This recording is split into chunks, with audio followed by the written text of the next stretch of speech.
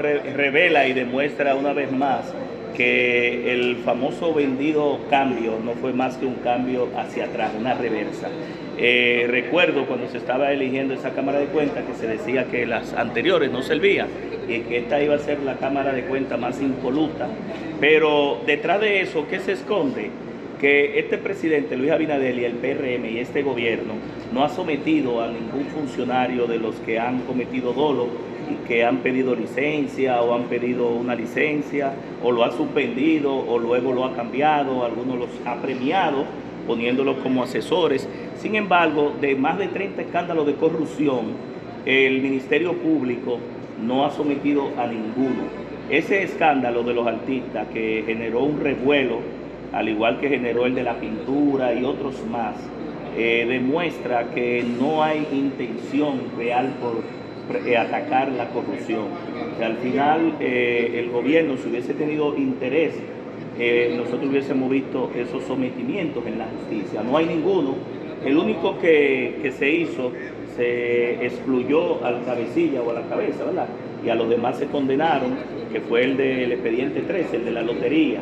Pero después eh, nosotros no hemos visto ningún sometimiento del gobierno y como yo dije anteriormente, el presidente de la Cámara de Cuentas, que ha estado explicando su incapacidad para poder eh, dirigir un organismo colegiado como es este, eh, finalmente vamos a tener que hacer algo con esa situación. Debe haber sometimiento todavía en términos penales. Debe haber sometimiento en términos penales.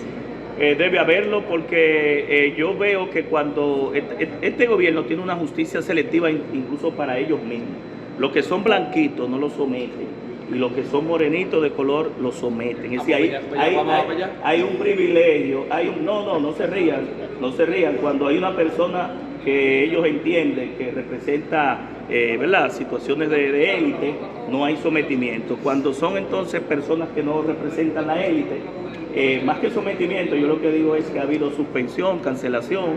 Nosotros hemos tenido tres ministros de la juventud. Hay un escándalo nuevo ahí. Tres, tres van. Es decir, que posiblemente tengamos un cuarto. hemos tenido dos ministros de educación. Hemos tenido dos ministros de medio ambiente. Hemos tenido dos ministros de la presidencia. Hemos tenido tres directores del correo, que ha habido escándalos ahí. En pasaporte también. No, en educación ha sido la mayor cantidad de escándalos.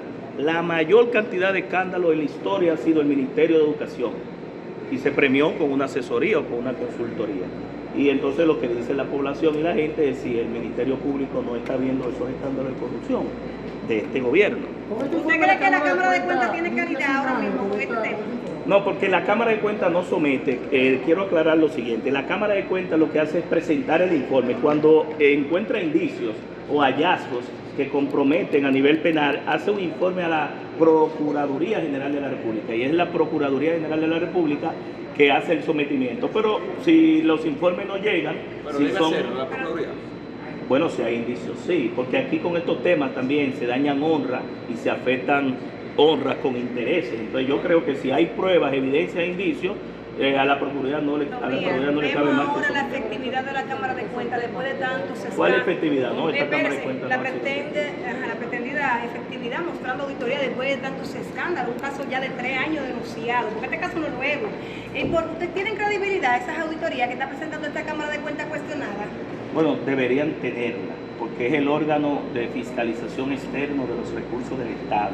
Y ahí se deben poner personas probas, personas con verdadera confianza y credibilidad, y que vayan a ese puesto a cumplir con su deber.